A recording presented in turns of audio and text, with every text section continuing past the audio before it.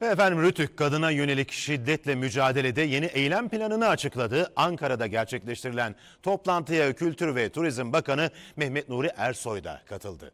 Ersoy mücadeleyi sürdüreceğiz, kadına şiddete alışmayacağız mesajı verdi.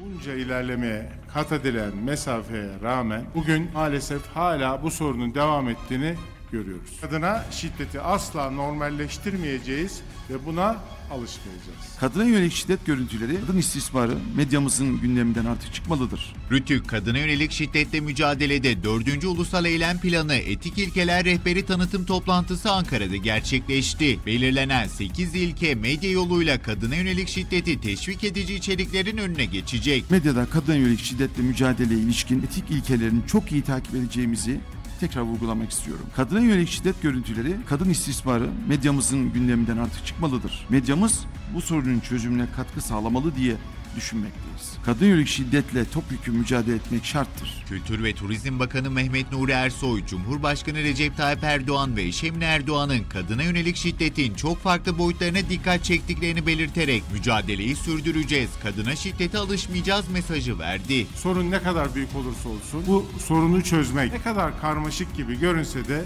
biz kadına yönelik şiddetin son bulması için elimizden gelen gayreti daha fazlasını, daha iyisini yapmaya devam edeceğiz. Bu soruna asla alışmayacağız. Kadına yönelik şiddeti asla normalleştirmeyeceğiz. Televizyon ekranlarında bu sorunla ilgili bir haber karşılaştığımızda bunu sıradan bir olay olarak görmeyeceğiz.